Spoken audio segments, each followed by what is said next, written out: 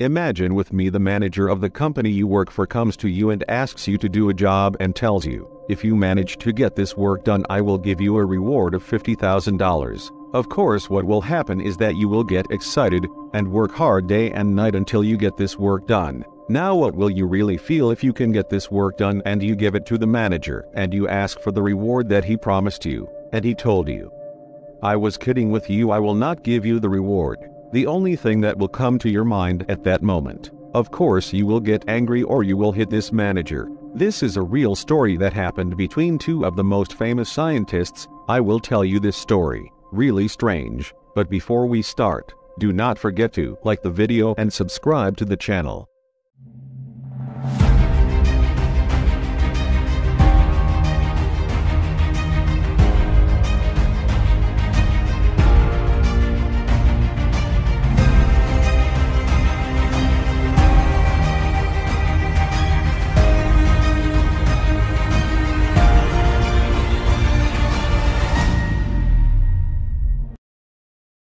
Nikola Tesla was a Croatian physicist, inventor, and mechanical engineer born in July 1856. His father was just a pastor in an Orthodox church. His goal was to bring his son Nicholas into the church and become a priest, and his mother was a housewife, but she had interests that influenced Nikola as she worked on small household appliances at the time. Some of the anecdotes say that Nikola was born on the night of a thunderstorm that passed through his village, which was under the control of the Austrian Empire at that time. It was a very strong thunderstorm as if it was a sign of something that would happen in Nikola Tesla's life. In 1861 he entered elementary school where he studied German, mathematics and religion. After that the family had to gather and move to live in Gospic and here Nikola finished the primary school period. Tesla's interests were completely different from what his father wanted, which is to become a priest. Nikola was fond of something called science, especially physics and electricity. Nicholas had four brothers, and in 1863 an incident happened to him that turned his life upside down, so much so that it affected his mental powers, which was the death of his little brother. His brother was 12 years old, and the cause of death was that he fell off horses. Nikola loved his brother so much that this incident continued to follow him his whole life, and the reason is that some historical references say that Nikola Tesla was the cause of his brother's death because he was the one who pulked the horse and jumped and his little brother fell from above him and died.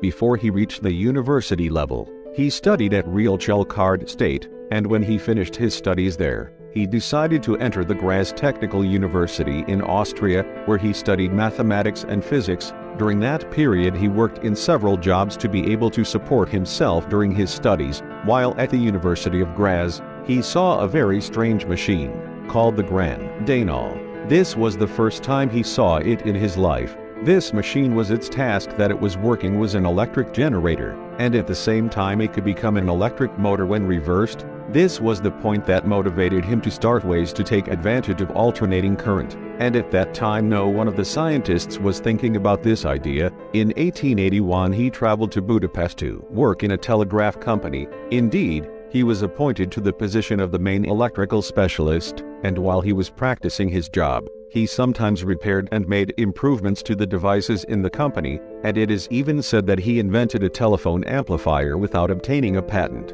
Even while working at the Lightning Center in Budapest, Tesla began to think about making a diagram for an induction motor, and this is what happened. Tesla was able to invent the first device using alternating current in history. All this period, Nikola was hearing the news of Thomas Edison, and he was hearing about his inventions and achievements, and Thomas Edison was the most famous person in the world working in the field of electricity, so in 1883 he applied to work in a European branch of Edison's company. And a person named Charles Batchelor persuaded him to travel to America and meet with Thomas Edison personally, which actually happened. He immigrated to the United States of America in 1884 and exactly New York to apply for a job with Thomas Edison and he actually hired him at the Edison Mechanical Works Company in Manhattan and worked as an electrical engineer, where he solved all the problems facing electrical appliances intelligently and professionally, to the point that he became aware of all the errors and gaps in Edison's electrical systems, and one day Edison entrusted a task to Tesla, which is to redesign one of the generators for direct current. He was it's easy for Nikola, so he told Edison that he could do that, and not only that, he told him that he could redesign all of Edison's generators and make them work very efficiently and economically as well. In that period when he was working under Edison's command, his salary was only $18, and Thomas was known to be an authoritarian and exploitative person of ideas. What happened according to some historical statistics is that Thomas Edison did not accept that one of his employees corrected his work and ideas and criticized them, and he saw that no one could keep up with him in understanding electrical systems, and Tesla said Thomas Edison's response to me, literally I will give you $50,000 if I was able to keep up with me, before Tesla challenged, and actually started working every day late at night, where he slept little. After a few months of hard work he was able to accomplish the task, and all Edison's generators and mechanisms became economical and more efficient just as Nikola said. And here Tesla met Edison to show him what he did. And here, he asked for his reward. He told him I did what I told you give me the $50,000 you promised me, and Thomas Edison's response was,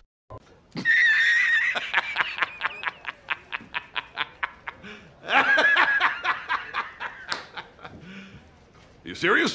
Tesla says that Thomas Edison's response literally was, Tesla seems that you do not understand the American sense of humor, and in return for that instead of rewarding him as he promised he gave him a weekly bonus of $10. This is all that this incident did made Nikola resign from Edison. He resigned angry and felt injustice. This painful incident gave him a terrible stimulus. He established his own laboratory and began to work on his own inventions, and here Tesla's fame will begin to shine little by little. He sat in his lab and succeeded in invention of multi-stage motor and generators based on alternating current, as well as transformers for alternating current systems.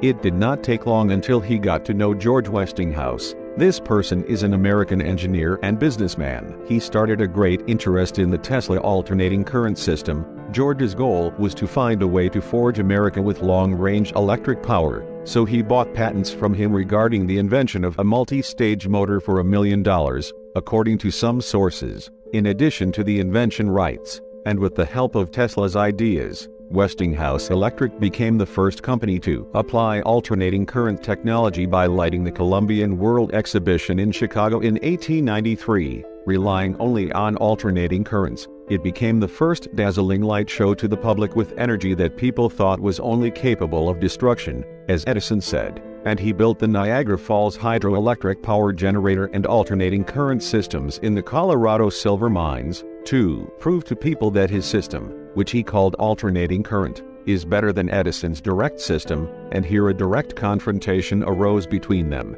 each trying to prove the power and effectiveness of his electrical system, to finally triumph Tesla with his alternating system, it has become certified as an electrical power system worldwide.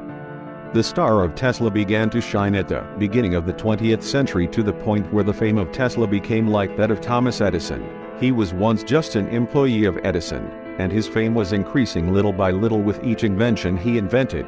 So he invented and developed electrical tools including radio, high-frequency lighting, X-rays, in addition to electrotherapy methods, all of which are based on alternating current and ordinary frequency current. He also developed a global system for broadcasting electrical energy using amplifying transmitters, and he built the first station in the new high electrical system, an input tower to strengthen the transmission in Wardenclyffe, Long Island, in New York City, USA. He was inventing and developing NOS-DOP, and the strange thing about Nikola's issue is that he predicted inventions that would come in the future. For example, he predicted the microwave, as well as television, wave interference tools, and beam technologies, and not that only, but many scientists and inventors were relying on Tesla's ideas for their inventions. He also contributed to the development of robotics, radar, computer engineering and science, and Tesla is the godfather of radio. Therefore,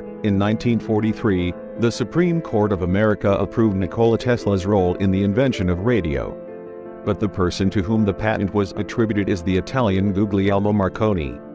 The Tesla Foundation estimated that it had registered more than 300 patents in the name of Nikola Tesla across all countries of the world. Among the most famous of these inventions is the amplified transmitter to transmit energy wirelessly, as well as the Tesla turbine, whose engine fuel efficiency reached 90%, and also the induction motor. This motor is the one that is used in the electric machine, and also used in the hair dryer, and the majority of electrical tools still use this engine to this day. And also Tesla invented the first remote-controlled boat, and it had a strong imprint in nuclear physics and theory. Despite all this, many of Nikola Tesla's inventions and ideas were stolen and attributed to other people, just as Edison and the inventor of radio did. In 1916, the Swedish Academy of Sciences decided to award Nikola Tesla and Thomas Edison the Nobel Prize for Physics equally, but Tesla refused to share the prize with Edison, and Edison also refused to share the prize with Tesla, and because of this refusal the administration decided to take the prize from them. The last press conference attended by Nikola Tesla was in 1940. After that he no longer appears at all in the media. Tesla lived his last days in a hotel in New York working on new inventions, but his mental health in those days was at the beginning of its collapse, and he lived his last days feeding pigeons and he feels frustrated. And although he is nicknamed the inventor of the 20th century because of his inventions that facilitated our lives and still facilitate our lives until now, he died poor at the age of 87 years. And of the afterlife things that he said was this sentence The world of power is governed by the dynamics of the forest. Crows and hyenas are waiting for the prey to come. Do not tire themselves too much. Do not exert energy, and do not waste time chasing prey. However, they exist and benefit from the fatigue of others. So this is life in part.